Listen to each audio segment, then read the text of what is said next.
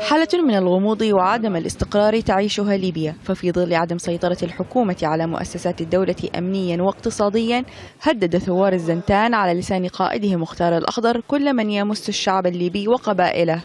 متهما المؤتمر الوطني الليبي بالرغبة في إقامة ديكتاتورية جديدة. حنرى هناك ناس تريد التشبت بالكراسي وتريد أن تمسك ليبيا بالقوة. الآن نحن كمجلس عسكري الزنتان نقول إلى الشعب الليبي نحن مع الشعب الليبي سنقف جاهدين بكل قوانا والمساس بالشعب الليبي أو بقبائل ليبيا الشريفة في أي كان مكان نحن سنتصدى له وسنسحقه سحقا. هذا التهديد جاء بعد قرار المؤتمر الوطني الليبي بتمديد فترة عمله وذلك لمنع حصول فراغ سياسي بحسب تعبيرهم.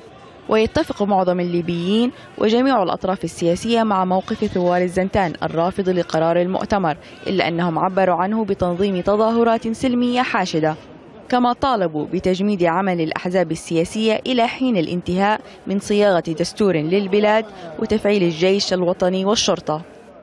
وفي خضم هذه الأحداث أتت تصريحات وزير الدفاع الليبي عبد الله الثاني عن إحباط محاولة انقلاب عسكري لتضفي مزيدا من الغموض على المشهد السياسي ليقلل من شأنها رئيس الحكومة الانتقالية علي زيدان.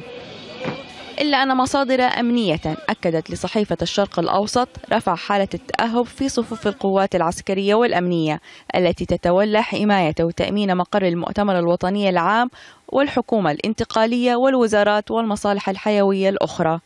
جمانة خوجة العربية.